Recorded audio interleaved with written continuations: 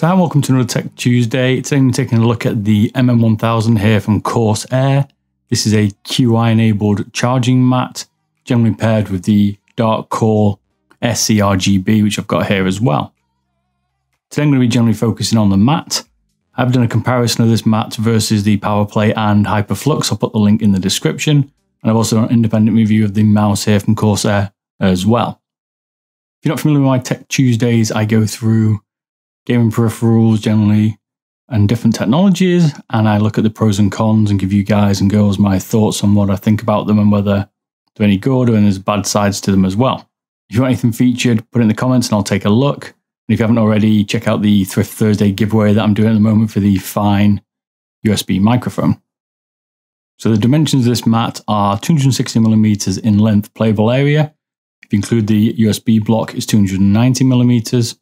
It's 350 millimeters wide, and they say it's 5 millimeters deep, but it's more like 8 millimeters deep. The USB block is 25 millimeters high, and it comes only in a hard surface. One of the key features of this mat is the QI charging. It has a QI charging in the top right hand corner here that you can charge the mouse on. And also, you can charge things like a mobile phone. If your mobile phone doesn't come with a QI charger, you've got an adapter here from Corsair. That's cool. It's got a lightning port and it's also got a USB C port. So that's quite nice from Corsair.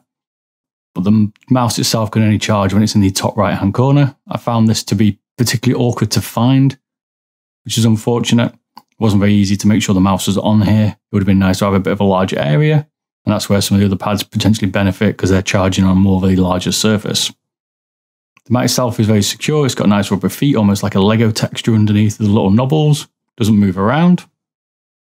The mat itself is a hard surface with a gaming texture. It feels a bit like the MM800.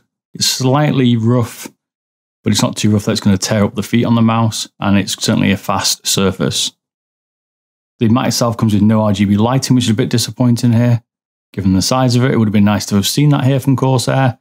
It does have a charge light on top of the USB block, which I've already said has a pass through for USB 3.0.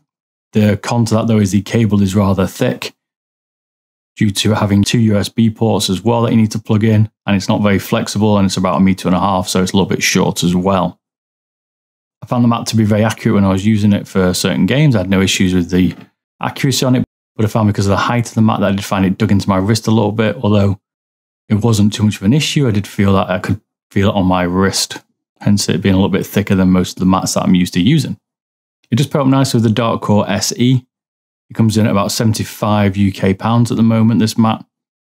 But unless you've got the Dark Core SE QI version here, this mat really is not going to be that useful to you unless you want to charge your phone.